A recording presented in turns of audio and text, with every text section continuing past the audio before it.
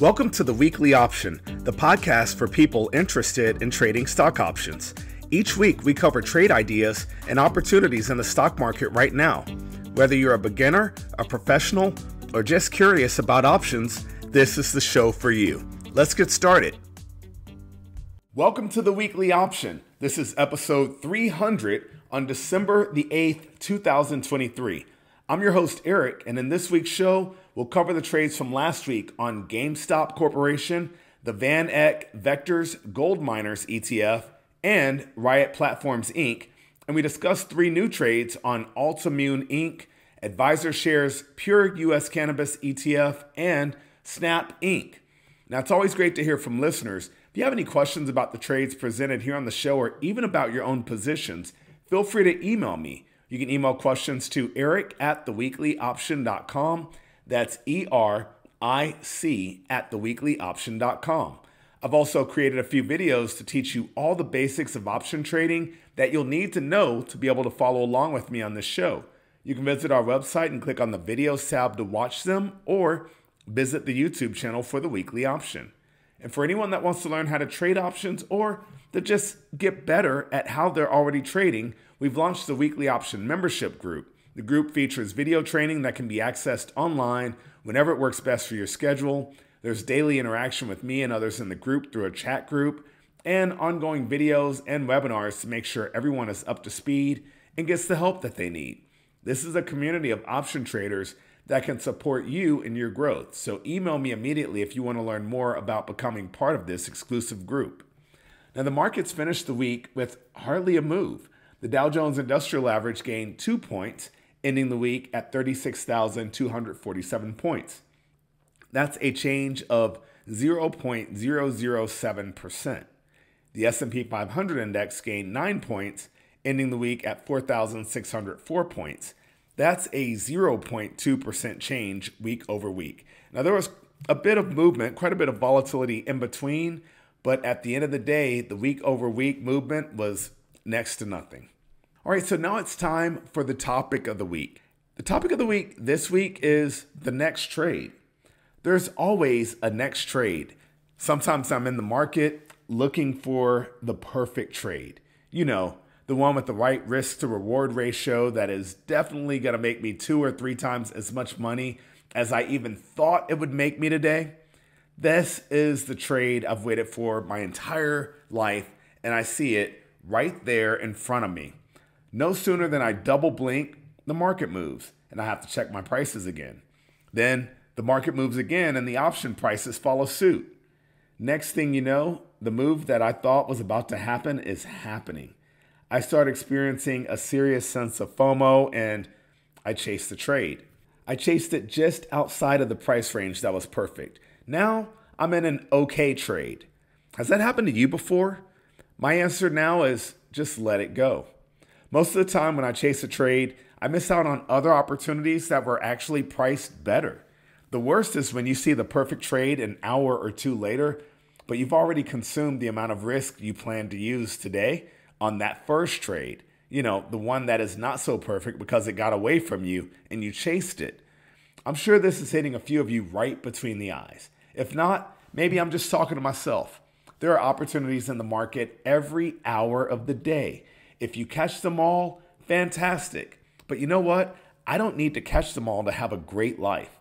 I can catch a few and eat very, very well. The perfect trade is the one that you executed at the price that gives you the risk reward ratio that you really wanted. That's it.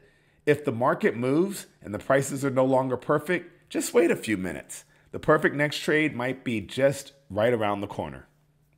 All right, so I'm super excited today to be recording my 300th episode of the Weekly Option. When I started this podcast out, I had no idea I'd still be going to make it all the way to episode 300. So I'm working on a few new enhancements for the next 100 shows Thank you all for listening and following. Make sure you've subscribed on your favorite podcast platform and definitely share it with friends if they are focused on options too. All right, so let's get into the trade review from last week. We'll start off with our covered call on GameStop Corporation, symbol G as in golf, M as in Mike, E as in echo. At the time, the stock was trading for $15.29 per share. I looked at buying stock and selling the December 15 half call at $1.80, hoping for a return of 13.15% in two weeks. Well, shares of GameStop gained 26 cents, ending the week at $15.55 per share. The call option we sold lost 98 cents, leading to a gain of 72 cents if we were to close the trade out immediately. However, with the stock hanging right near our option strike price, we are definitely expecting to gain more than twice that amount by holding onto this trade for one more week until expiration. This trade is working out as planned you definitely want to keep track of the stock's price over the next week, but at this point, no adjustments are needed. Next up, we had a credit spread on the VanEck Vectors Gold Miners ETF, symbol G as in golf, D as in delta, X as in X ray. At the time, the stock was trading for $31.81 per share. I looked at selling the December 31 half 31 put spread at 18 cents which could give us a maximum possible loss of 32 cents per spread. Now, shares of GDX lost $2.13, ending the week at $29.68 per share. The out of the money put spread that we sold is now more than $1 in the money. And at this point, I would expect the spread to expire at full value, leading to a loss on this trade for the week. Now, if you were to sell a call spread with a higher pair of strikes, you won't collect enough money to offset the loss on this week. Uh, we would normally do that. We try and create an iron condor to collect some of the premium that we might have lost. Course, if you sell a call spread with lower strikes, now you run the risk of adding to your loss if the stock finishes right between your your call strikes and your put strikes and you end up losing on both spreads. So I always mention that these trades are risky because there isn't enough time to make a good adjustment. You can always roll the trade to the next month, but at this point, I would just wait this one out and see how it ends up. There's always the possibility that the stock moves higher over the next week and this trade still ends up expiring out of the money. If not, it's okay. This was a spread. We knew exactly how much we could lose when we put the trade on. So we didn't want to lose, but we knew how much we could. That's the beauty of trading spreads.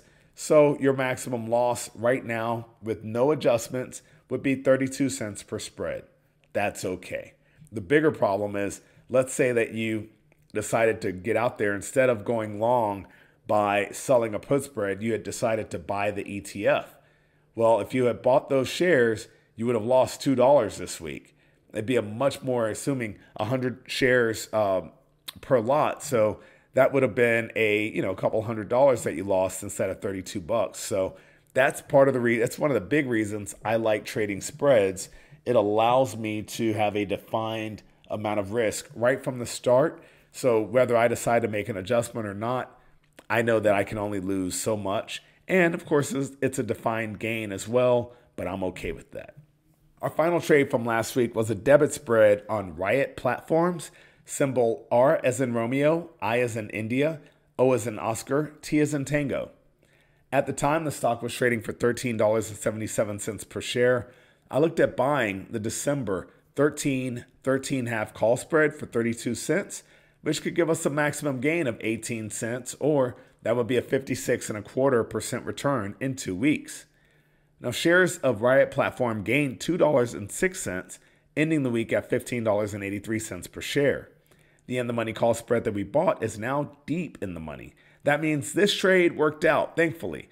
So we will look for uh, this trade to expire in the next few days, fully in the money, uh, leaving us with a nice 56.25% return. So no adjustments are needed on this one as well. As always, it's expiration week, so keep track of how this stock finishes up so that you actually close the trades out for the amount that you're expecting. And that's it for the trade review for this past week. Um, as a reminder, December expiration is just one week away. It's on this upcoming Friday, December 15th. We'll focus on options that expire on January the 19th, today, and for the next few weeks. So we're going to start off with our covered call. I'm looking at Altimmune Inc., symbol A as in Alpha, L as in Lima, T as in Tango. The stock ended the week at $6.48 per share I'm looking at buying stock and selling the January 7 call at $1.25, hoping for a return of 27.31% in six weeks.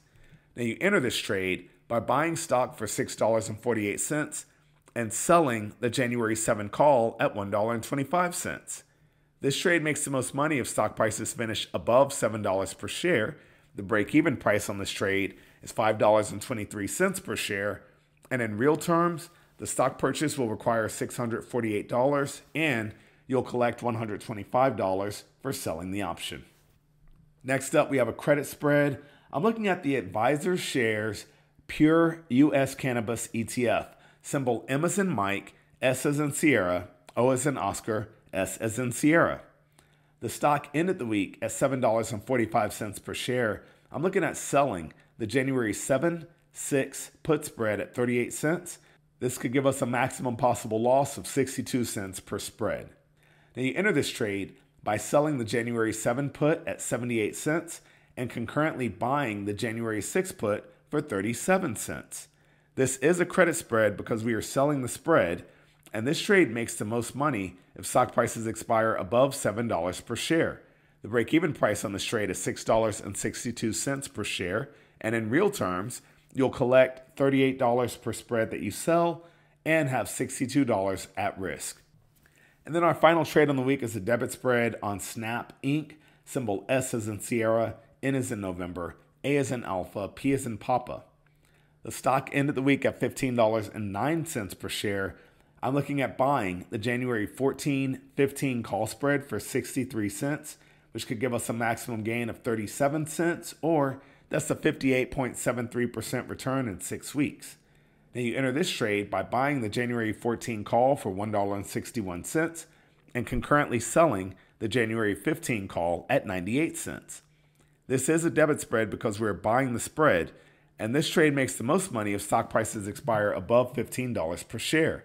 The break even price on this trade is $14.63, and in real terms, you'll pay $63 to enter the spread, and your maximum gain is $37 per spread. So that's it for this week's show. Thank you so much for listening. Thank you for following. Thank you for sharing. I look forward to making a few changes uh, in the next 100 shows. So I'll keep you posted. You have any suggestions, feel free to email me. Otherwise, have a great weekend. And as always, happy trading. Thank you for listening to the Weekly Option Podcast. Please subscribe to our show and visit us at www.theweeklyoption.com. Disclaimer There is a very high degree of risk involved in trading.